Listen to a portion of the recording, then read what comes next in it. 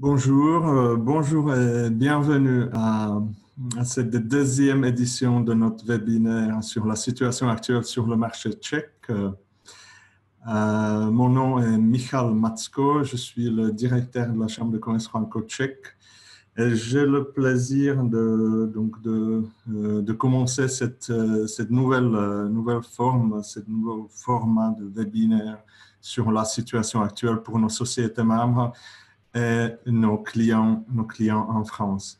Je suis vraiment content de voir euh, le nombre d'inscrits parce que pour la première édition, on était, on était plus de 20. Pour cette deuxième édition, on est déjà plus de 60. Donc, euh, je ne veux pas trop tarder. Je vous explique quelques informations concernant la, disons, la logistique de l'événement. Euh, cette webinaire nous prendra quelques 30 minutes il sera qu'en français. Euh, et il était préparé par mes collègues, euh, les consultants employés de la Chambre de commerce de, services d'appui aux entreprises euh, que vous connaissez bien. Donc, encore une chose technique, vu qu'on est plus de 60, on n'a pas pu faire un événement où tout le monde peut discuter. Donc, vous pouvez poser les questions Posez la question via chat, s'il vous plaît. On répondra à la fin de la réunion ou après la réunion. Donc, euh, je vais commencer avec, euh, avec euh, une, quand même, une info sur la chambre. La chambre à vos côtés. chambre franco-tchèque, on est le troisième réseau, troisième communauté business étrangère en République tchèque. Nous sommes plus de 300 sociétés membres. Et la Chambre et toute son équipe, euh, malgré le, confinement, et malgré la crise, est restée, euh, en plus, est réinventée, restée à côté de ses membres et de ses clients. Donc, euh, plus informé nos membres. Donc, on a, on a publié plus de 100 textes avec actualité sur la mesure de, de l'État tchèque sur le confinement, sur les actualités.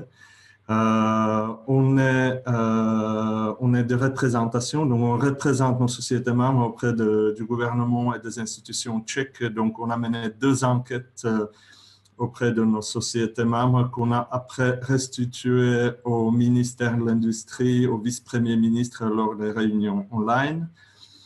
Et effectivement, on est là pour vous accompagner toute l'équipe euh, pour accompagner nos, membres et nos clients. Donc aujourd'hui, nous avons lancé la marque Le Booster, ce qui représente les services euh, sur mesure pour appuyer votre développement en République tchèque, que, vous êtes une société française qui veut s'implanter en Tchéquie ou que vous êtes une société membre de la Chambre qui est déjà présente en Tchéquie mais est en train de réinventer son business.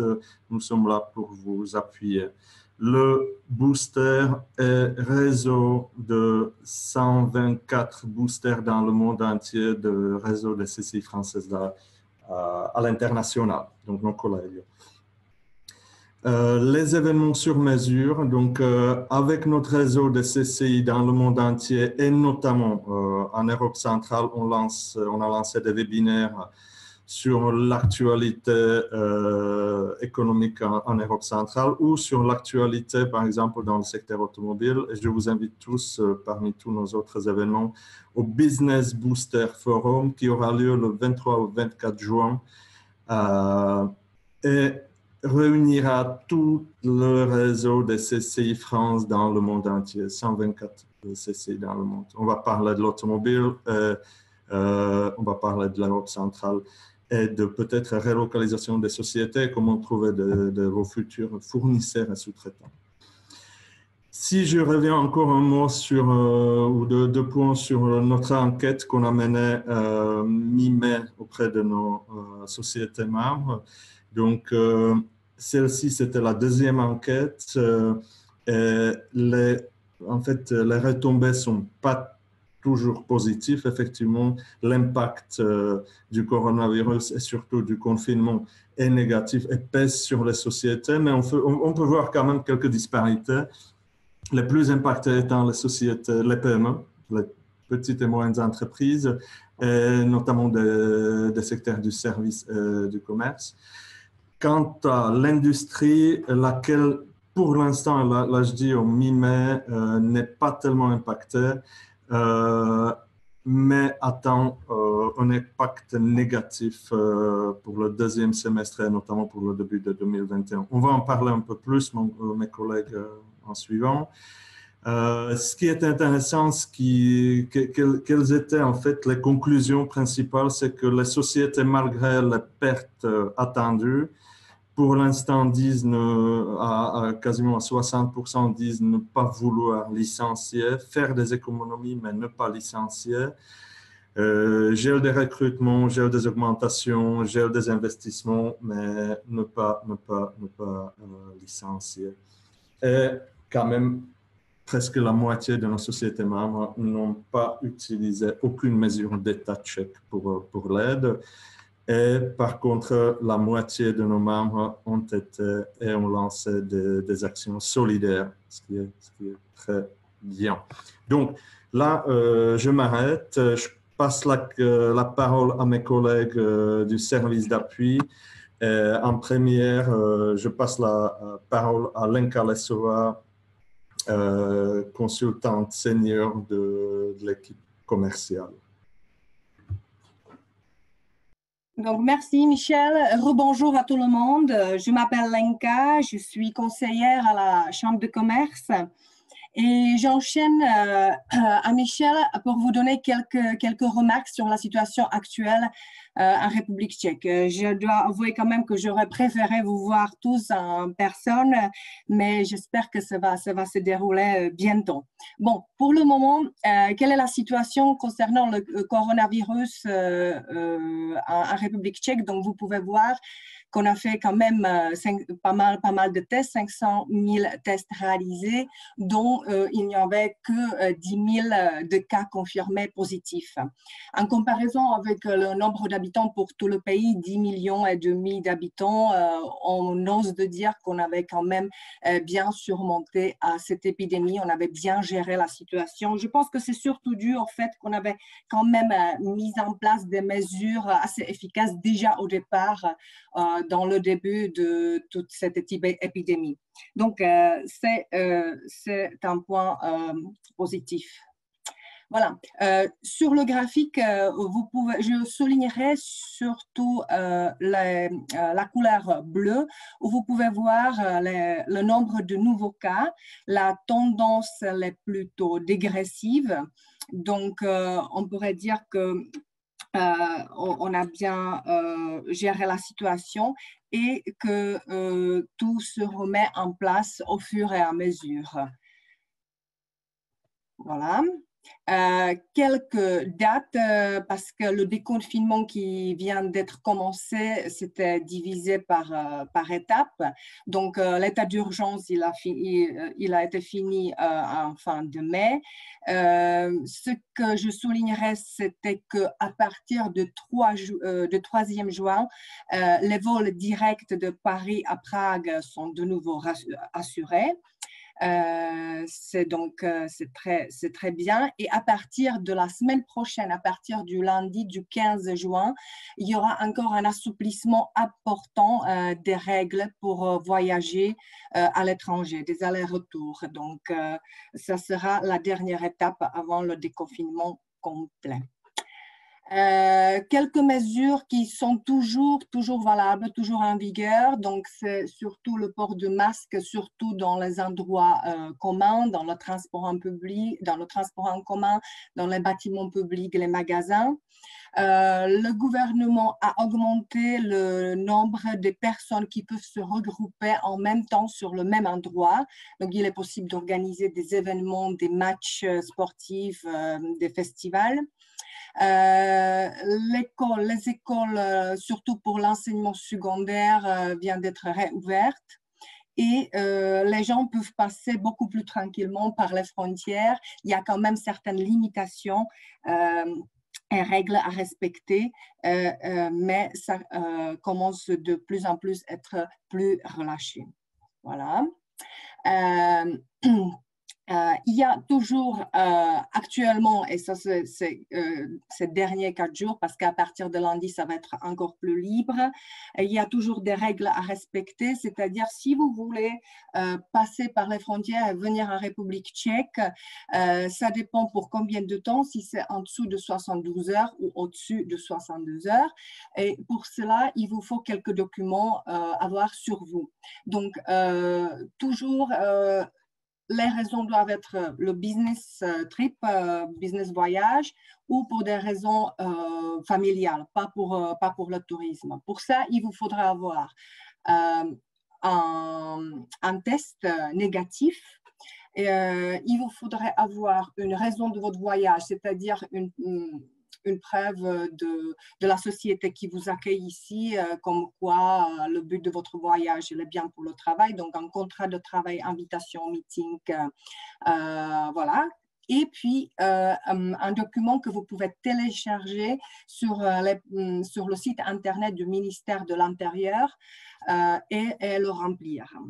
Bien sûr, à la frontière, vous devrez passer par le contrôle des symptômes, comme quoi vous n'avez pas de fièvre et d'autres symptômes liés à la maladie. Et euh, en cas euh, d'absence, vous êtes obligé, en cas d'absence de test, il vous faudra le faire dans, deux jours et le livrer à la station d'hygiène, comme quoi vous êtes négatif. Euh, si vous allez passer plus de 62 heures, euh, les règles sont presque pareilles. Euh, voilà, mais ça va bientôt changer à partir de lundi. Je vous explique comment, comment ça va changer. Là, voilà, vous pouvez voir les documents qu'il faudrait télécharger au ministère de l'Intérieur et qu'il faudrait avoir sur vous bien remplis. Euh, je voudrais partager aussi avec vous une expérience euh, de l'un de nos clients qui vient de voyager depuis la France vers la République tchèque, ça fait deux jours à peu près. Il disait que justement pendant, pendant le contrôle à la frontière luxembourgeoise, tout s'est bien passé, allemande idem. Euh, en Tchéquie, le contrôle, il était un peu plus compliqué. Peut-être c'était dû à la barrière linguistique. il a fallu donner une preuve, d'un logement à Prague, une preuve d'un travail. Et aussi, il a fallu avoir ce test. Il ne l'avait pas, donc il a dû s'engager euh, comme quoi il allait le faire euh, sous, deux jours. Le test devrait, euh, le prix du test est plafonné pour 70 euros. faites attention parce que, par exemple, le, cas de ce client, il s'est fait arnaquer, il a payé 150 euros. Donc, non, le prix, c'est 70 euros. Euh, euh, en général. Euh, à partir du lundi, et ça c'est le plus important pour ceux qui veulent donc venir en, Tchéquie à partir de la semaine prochaine, le gouvernement vient d'introduire un, système un système de la classification par couleur, un feu tricolore, euh, qui, euh, là, vous pouvez voir sur la carte les trois couleurs euh, différentes qui expliquent le, le, niveau de, de danger, je dirais, en guillemets, c'est-à-dire les gens, les, Tchèques ou les étrangers qui résident en République tchèque, ceux qui reviennent des pays qui sont euh, indiqués en couleur euh, verte et orange, ils n'ont pas besoin d'avoir euh, même, pas, même pas le test. Par contre, s'ils viennent de, pays indiqués en couleur rouge, ça c'est valable pour tout le monde. Tout le monde doit être équipé de ce test. Euh, pour les étrangers, en général, ceux, ceux qui viennent euh, des pays indiqués par la couleur orange, euh, eux aussi, ils doivent être équipés soit d'un test, soit ils doivent suivre les règles d'une quarantaine. Euh, c'est une carte qui est interactive, euh, donc elle va être réactualisée euh, à peu près une fois par semaine et vous pouvez la télécharger aussi sur le ministère des Affaires étrangères où vous verrez la situation actuelle. Voilà, donc ça serait tout de ma part et je passe la parole à mon collègue Joseph. Merci.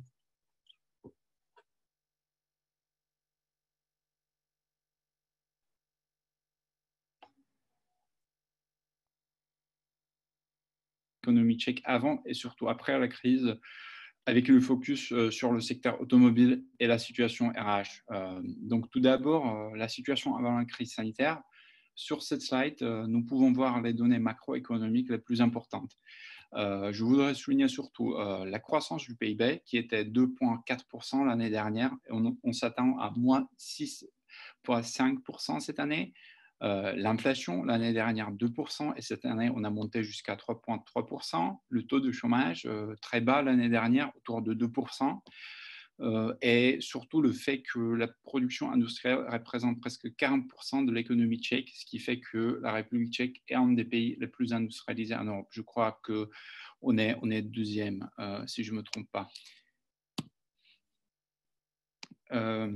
En ce qui concerne le commerce international, la République tchèque est un pays exportateur avec la balance commerciale excédente depuis l'adhésion à l'Union européenne en 2004 et l'année dernière, ont représenté 84% du PIB tchèque. Euh, les principaux pays partenaires sont l'Allemagne, la Slovaquie, la Pologne et quatrième, c'est la France. Donc euh, la France est le premier pays client qui n'a pas les frontières avec la République tchèque. Euh, et si on regarde les fournisseurs, la France est juste derrière Italie, sixième. Donc on, peut, on peut vraiment dire que la France est très importante pour la République tchèque. Et maintenant, sur euh, les impacts de Covid-19 sur l'économie tchèque. Euh, sur ces deux graphiques, vous pouvez voir l'évolution de taux de change et de taux d'intérêt directeur.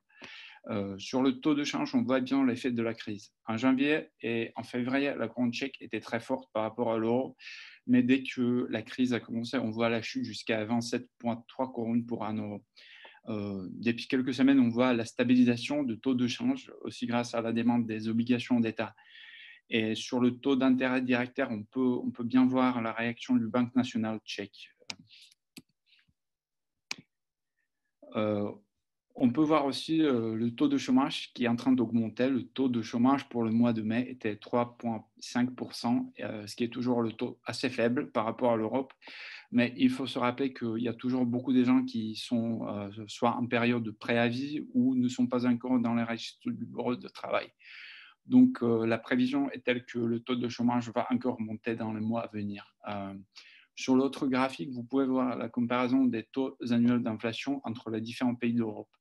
Euh, la République tchèque est entre guillemets au sommet avec l'inflation autour de 3,3% par rapport à 0,7% en Union, européenne. en France, c'est 0,4% et en Belgique, c'est 0%. Et pour l'année 2020, on prévoit l'inflation encore plus élevée, autour de 4% à peu près.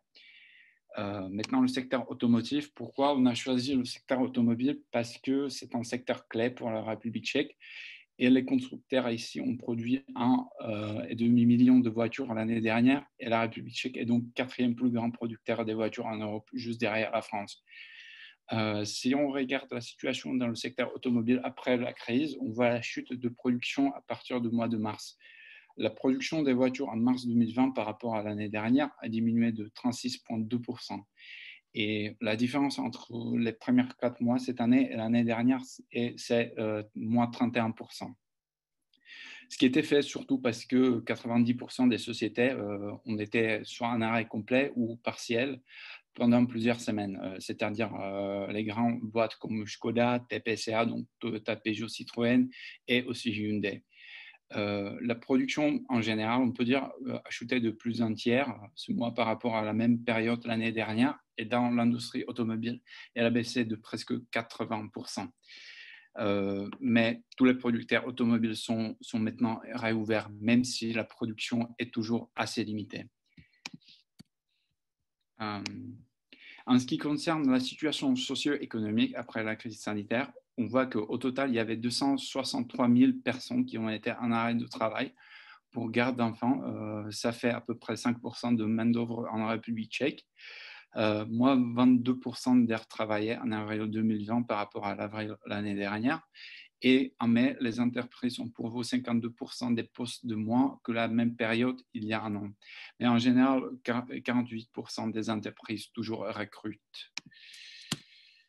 Euh, en ce qui concerne euh, les mesures de soutien adoptées en République tchèque, euh, donc tout d'abord, il y a le chômage partiel, on appelle ça Kurzarbeit en Tchéquie, et c'est dans le programme antivirus qui a été adopté par le gouvernement tchèque. Euh, initialement, il y avait deux types d'allocations qui ont été lancées au début d'avril 2020.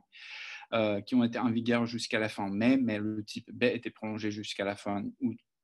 Plus, on a lancé aussi le type C, c'est-à-dire la possibilité de dispenser des cotisations de sécurité sociale. Euh, au 22 mai, presque 5,4 milliards de comptes tchèques ont été remboursés aux entreprises pour soutenir 631 000 employés. Ça représente à peu près 12% du population active par rapport à la France, où, si je ne me trompe pas, c'était plus ou moins 50% du population active. Euh, au début de ce mois, le gouvernement a lancé aussi le programme Outplacement. Euh, c'est le soutien aux employés licenciés ou les employés menacés d'être licenciés. Le programme propose des réqualifications, des services de conseil, etc., mais aussi des subventions salaires pour les employeurs qui embauchent les employés qui sont enregistrés dans le programme Outplacement. Il y a aussi Ochetrovne, c'est-à-dire l'allocation de présence parentale pour garde d'enfants de moins de 13 ans. Euh, initialement, c'était 60% du salaire mais c'était augmenté le 17 avril jusqu'à 80%. Et ce n'est pas seulement pour les salariés en contrat de travail, mais aussi, mais aussi euh, DPC et DPP, c'est-à-dire le contrat relatif à l'exécution d'une mission ou euh, l'exercice d'un travail. Euh,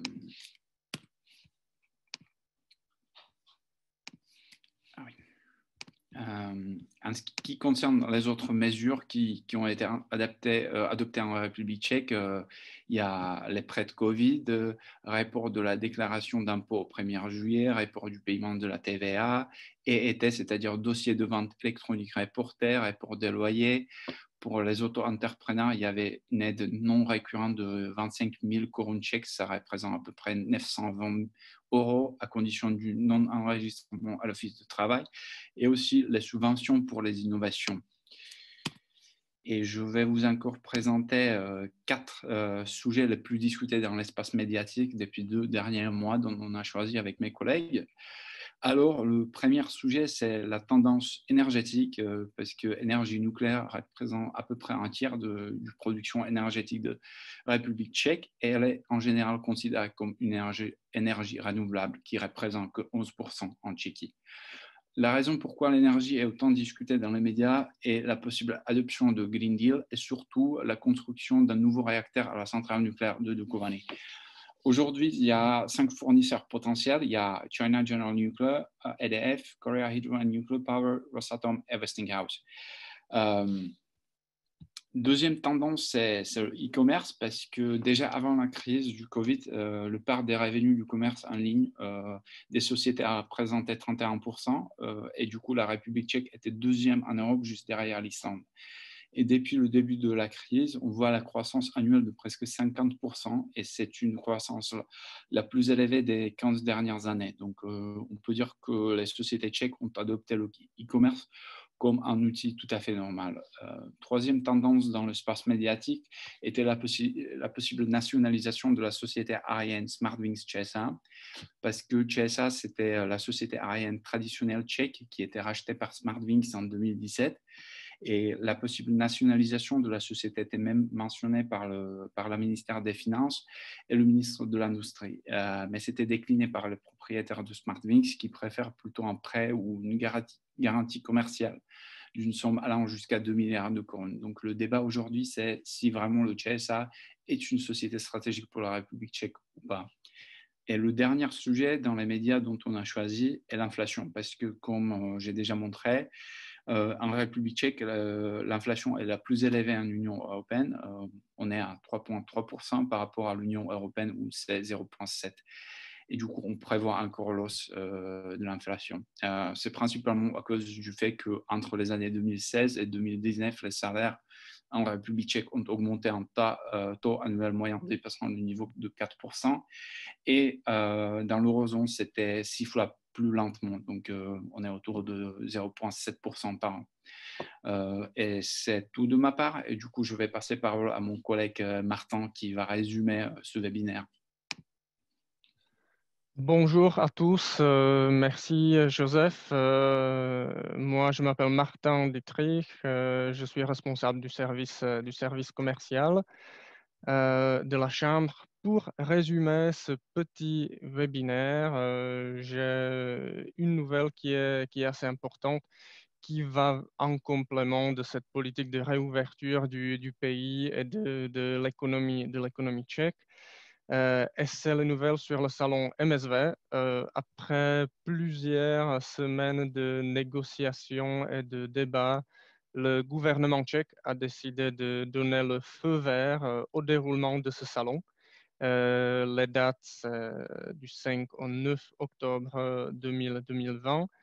Donc, s'il n'y a pas de, disons, détérioration importante de la situation sanitaire d'ici septembre, le salon MSV aura lieu. Euh, c'est très probable que ce, sera, le premier ou peut-être le seul grand salon industriel euh, européen cette année. Et c'est très important pour, pour l'économie locale, comme Joseph a mentionné tout à l'heure.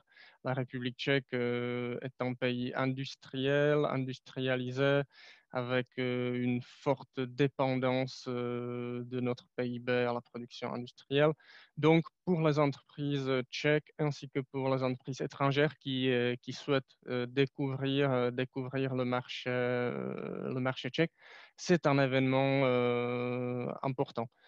depuis, depuis 18 ans, la Chambre de commerce euh, est présente avec un pavillon France sur ce salon industriel euh, pour permettre aux entreprises françaises de présenter leurs euh, services, produits, leur savoir-faire sur le marché, sur le marché tchèque. Donc, pour l'instant, on attend, les détails sur les mesures hygiéniques et sanitaires qui vont être, être adoptées pendant le salon. Mais la bonne nouvelle, c'est que le salon aura lieu. Euh, nous avons, euh, comme chaque année, réservé la place dans plusieurs halls, euh, halls dédiés à différentes technologies, plasturgie, soudage, machine-outils, machine-formage. Je vois que parmi les participants, il y a plusieurs exposants. Donc, vive le MSV. nous, sommes, très ravis de pouvoir vous accueillir d'ici début octobre en Tchéquie ou à Brno, plus précisément. Euh, bien sûr, nous suivons la situation de près, donc euh, on vous tient informé de toutes les, toutes les nouvelles. Euh, deuxième chose qui a déjà été mentionnée par, par Michal au début, je pense un grand nombre parmi vous ont déjà reçu la newsletter ce matin. Nous avons lancé officiellement la marque Le Booster qui chapeaute la gamme de nos prestations euh, la prestation de conseil et de business development, quoi que ce soit la prospection ponctuelle du marché, euh, aide à l'implantation sur le marché tchèque avec euh, la prestation de commercial à temps partagé, de création de sociétés, de postes de travail que nous louons au sein de nos locaux, ou bien toute une gamme de prestations RH recrutement ainsi que le portage euh, ou gestion salariale. Donc, euh, toutes ces prestations vont dès à présent être présentées sous la marque commune du réseau CCI France International, qui est le booster pour euh, tout simplement booster les affaires de nos clients sur le, sur le marché tchèque. c'est pour aujourd'hui. Euh, je vous remercie de votre participation, de votre, euh, de votre attention. Euh, nous restons bien entendu à votre disposition pour toutes les questions. vous avez nos adresses mail, nous sommes disponibles sur les réseaux sociaux, les numéros de téléphone qui sont sur notre site internet. Donc, n'hésitez pas à revenir vers, vers nous avec tout commentaire, toute question, toute euh, euh, toute suggestion d'amélioration. Vous allez aussi tous recevoir à la sortie de ce, webinaire un email avec le lien vers YouTube, avec l'enregistrement euh, de, ce, de ce petit événement, avec la présentation qui est à votre entière disposition et avec une demande d'évaluation de, ce, de ce webinaire. Donc, à nouveau, merci au nom de toute l'équipe, euh, à tous les participants. Merci à mes collègues pour les préparatifs. Et euh, on aura plaisir de vous accueillir soit lors d'une prochaine édition de ce petit webinaire sur les actualités économiques en Tchéquie ou à l'occasion d'autres webinaires ou les rencontres face à face que nous recommençons à organiser en tant que la Chambre de commerce franco-tchèque. Merci et bonne journée à tous. Merci. Au revoir. À bientôt à Prague.